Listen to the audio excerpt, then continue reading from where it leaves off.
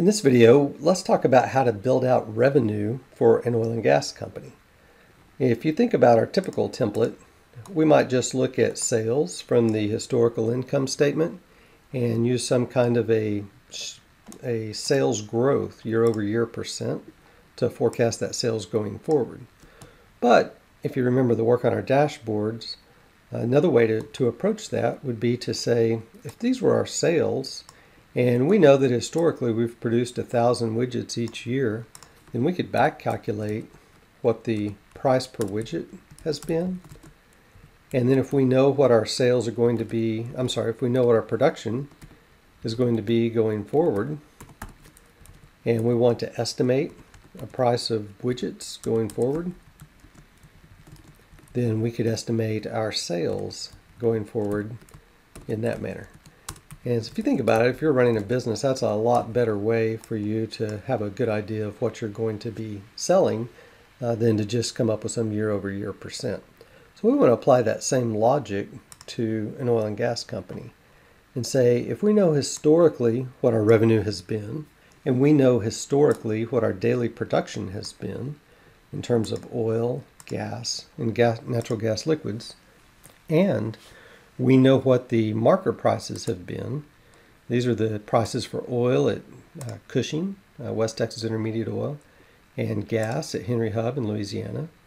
And I've pulled these historical prices and will continue to provide them for you from these EIA websites that pop up when I hover over those cells. You can check those out on your own. If you want to copy that, hit Shift F2, and then you can go in and, and copy that. But for the rest of this semester, I will tell you what history has been.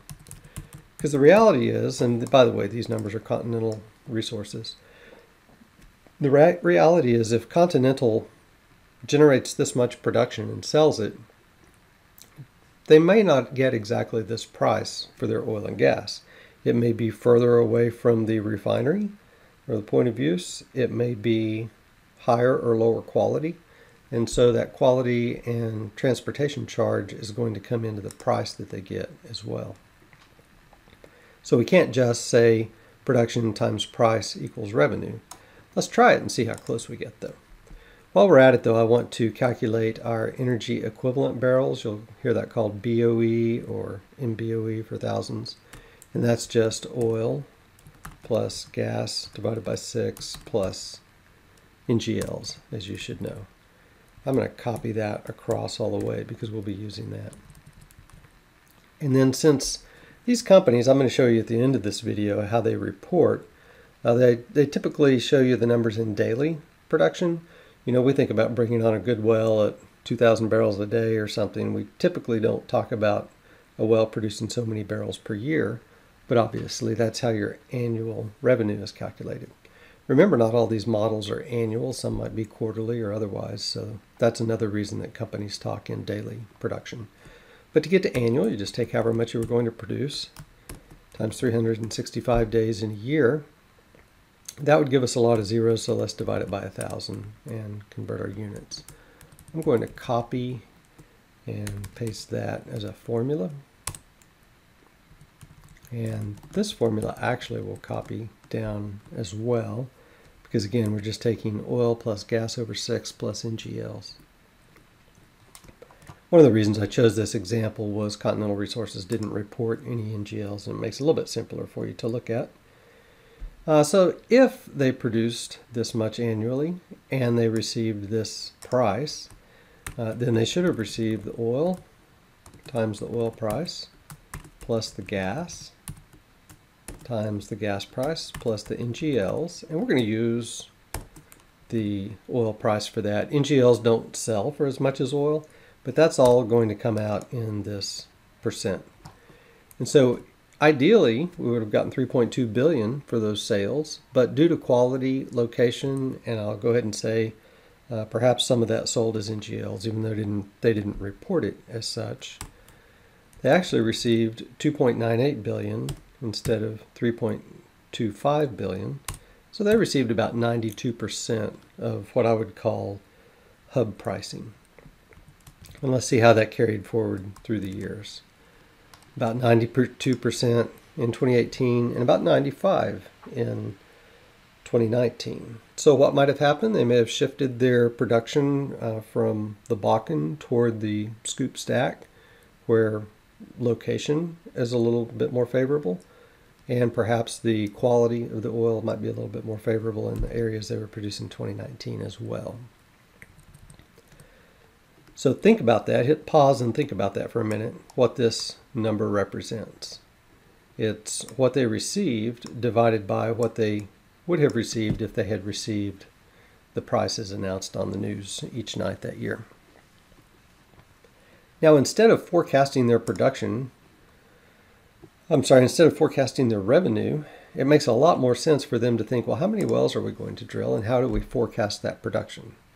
So let's say there that we wanted to go back to our ratio approach. And so if we knew how oil had changed,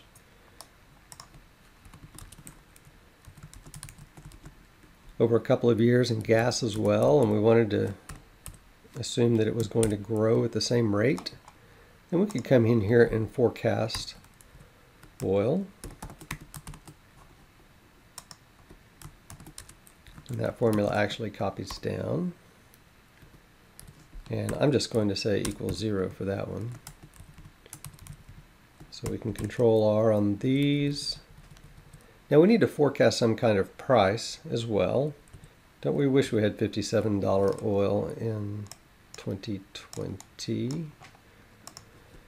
Uh, but let's say we end up with an average of 30 for the year and then it comes back slowly. Some people may say even that is optimistic.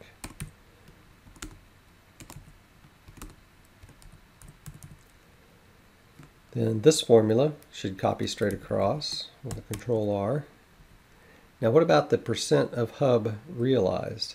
Remember this is something we calculated based on historical revenue versus theoretical or what have you. So here we want to make some estimate of how is that going to change. I talked a little bit about why location and quality would affect that number and so you may choose to use something different than 95 for that reason. Uh, but I'm going to choose to use 95. so really, if you think about row 16, kind of belongs better down here. We're looking at an historical ratio and a forecast driver, but it just fits so much better up here that I'm going to leave it up here. Then when I go to calculate revenue, I know you want to hit that cell, but don't. Just take what you thought you should get times percent of hub pricing, copy, paste, and now we could get a dashboard to control our production rates and our prices, and we would effectively forecast our revenue. And that was the meat of this video. That's about eight minutes worth. Thanks. Have a great day.